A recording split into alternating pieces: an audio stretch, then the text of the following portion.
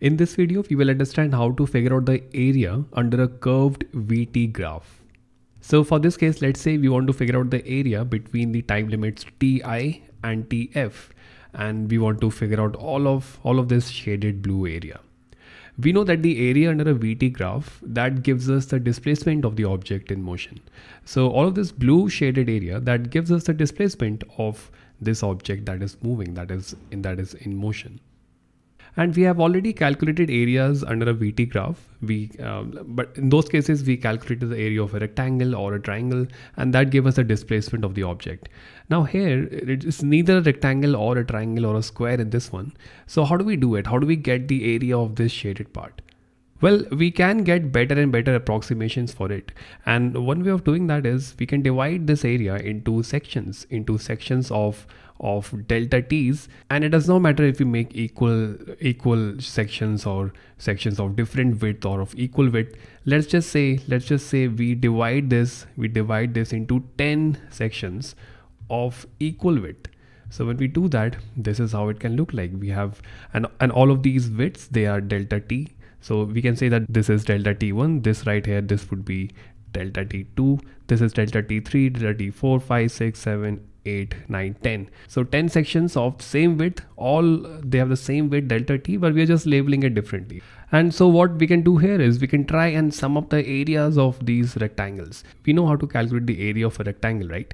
And we have 10 rectangles here. So let's just find the area of these the sum of the areas of these 10 rectangles and that will give us some approximation for the area for the blue shaded area so, so if we do that, we know that the width for this one would be delta t1, delta t2, delta t3. So if we if we look at the first, if we look at the first rectangle, if we figure out the area of this one, we know that the width is delta t1, and and this and the length, this would be this could be this could be v1 average average v1 because we are figuring out the velocity over a finite time interval right? That is delta t1 and we know that average velocity we know that average velocity this was this was given by delta x divided by delta t. So for a finite time interval you get average velocity. For a finite delta t1 your average velocity is v1 average. And similarly for delta t2 it would be v2 average. Delta t3 v3 average so on and so forth till delta t10 so now we know the area of this let's say this red shaded rectangle that is v1 average into delta t1 and we can add all of these rectangles. So when we do that this is how this is how it could look like.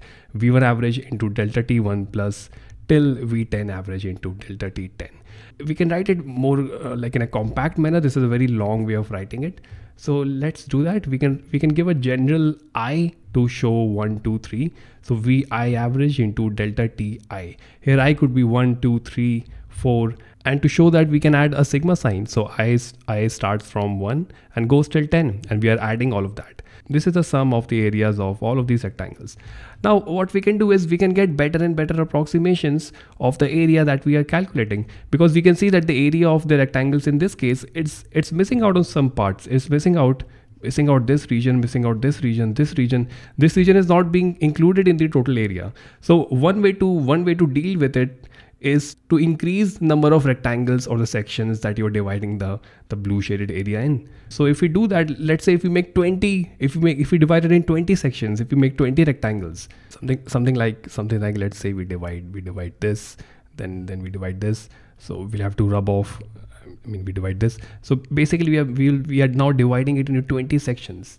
Let me show you how a couple of rectangles would look like so that you get some idea so if we are making if we are making 20 such rectangles this is how thin they could look like. And now now we are adding we are we are adding 20 of such 20 of such rectangles. So we can change this we can change this to 20 and now you're getting a better approximation of the area because you see these smaller triangles. Now you're taking care of some of them not entirely. The approximation is somewhat better for the area. Not perfect but still somewhat better. If you if you make 30 or 40 or 50 such sections of the shaded area then you will keep on getting better and better approximations.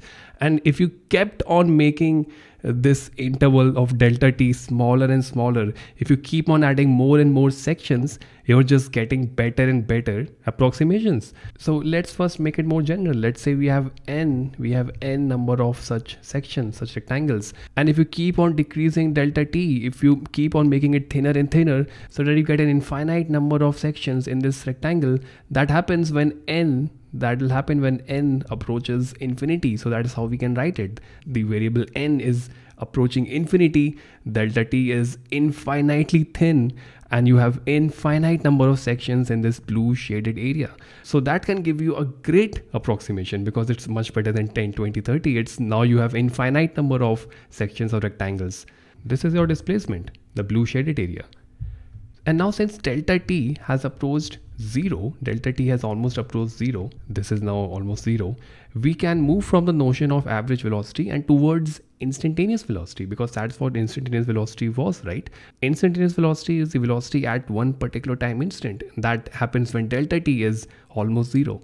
So we can remove the average part of from over here and when we do that, this is all that remains, the instantaneous velocity into delta ti. And this notion of getting better and better approximations as n approaches infinity, this is the core, this is the core basic idea of integral calculus. And we call it integral because the operator that we use to represent this, it looks like this. This is called an integral.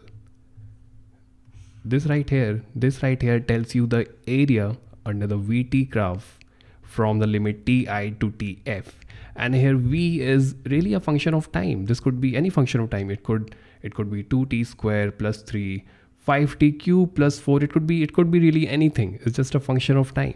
So whenever we do come across this this integral of v dt from some time limits it basically means the area under the vt curve from the limit ti till the limit tf